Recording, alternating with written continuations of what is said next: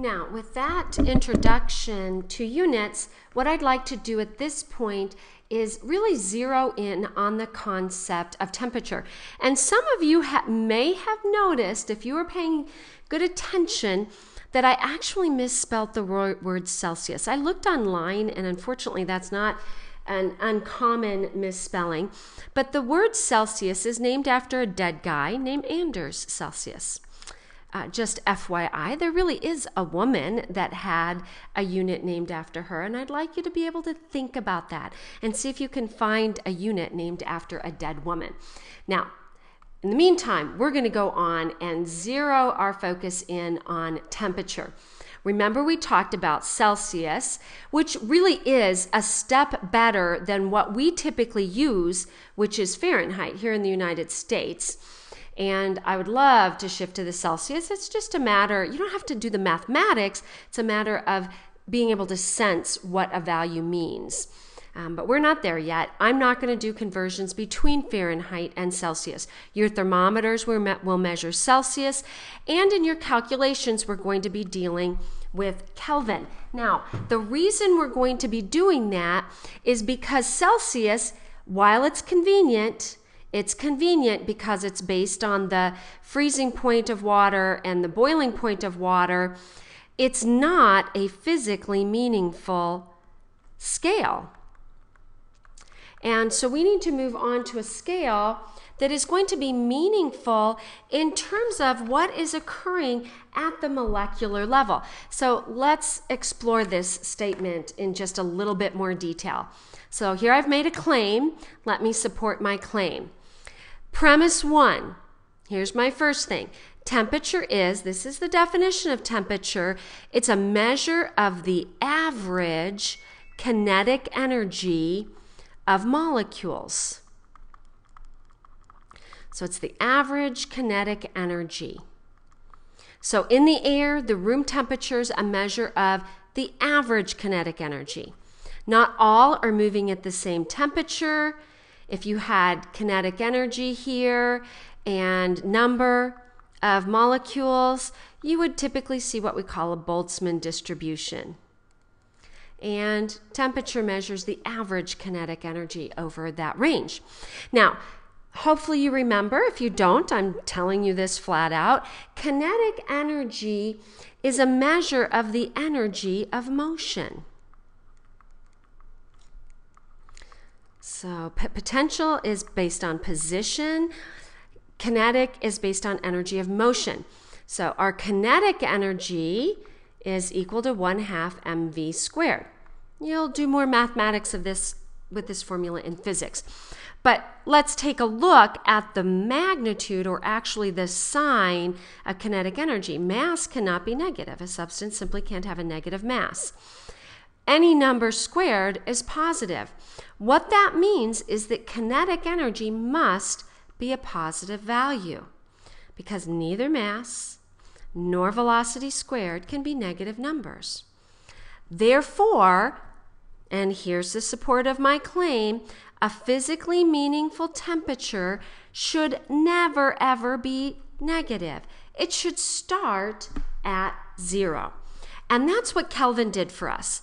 Uh, they did some studies and if we measured, say, temperature in degrees C, and I don't know, pressure or volume, some state that we have, they could graph data and come up with the best fit line.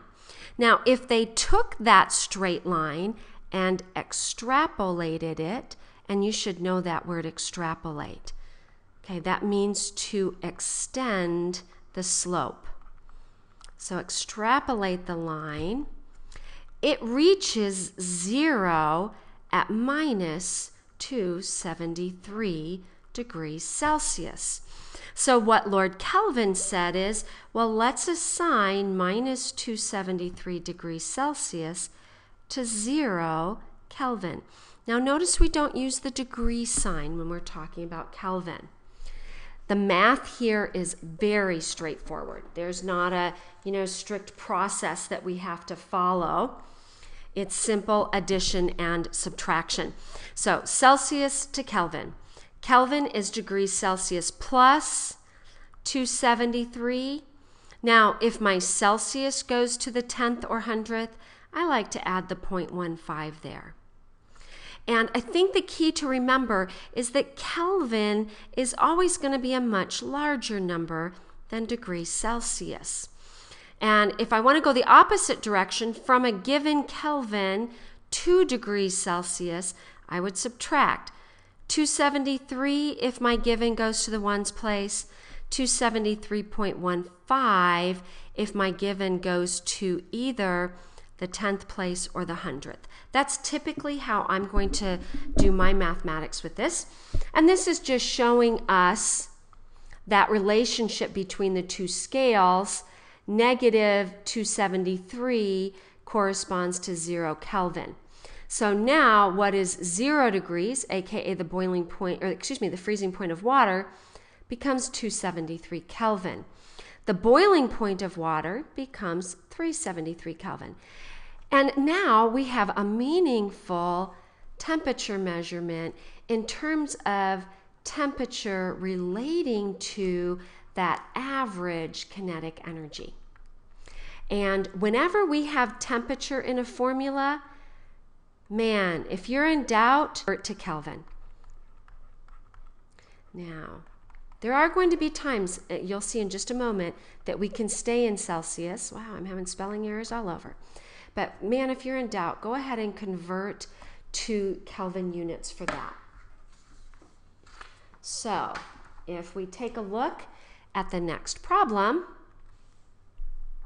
and fill in the table, we're solving for Kelvin, and Kelvin is equal to degrees Celsius, which is minus 167 plus 273. I'm not going to worry about that 0.15 because my original number only goes to the ones place. And if you performed that mathematics, you'd get 106 Kelvin units. Again, no degrees. The next one is also seeking Kelvin as our unknown. So it'd be 1100 plus 273. And our final answer would be 1373 Kelvin you want to become quite adept at doing these calculations. Our final is actually asking for degrees Celsius, and so we would take Kelvin. We're just solving this for Celsius. It's really the same formula. And we're subtracting 273. And in this case, if I did my math right, we're at 48 degrees Celsius. Now, for the next video, we're going to be working on example 2.2.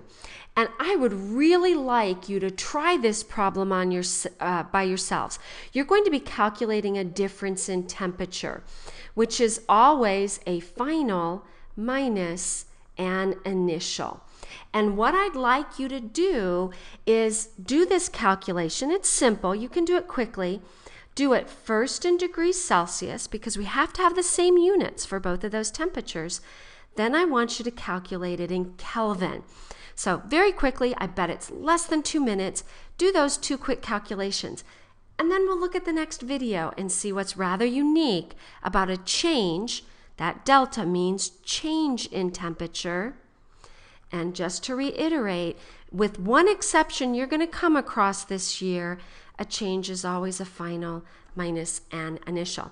So good luck, and I hope you see what I'm thinking you will see, which is a little bit of a unique answer for that.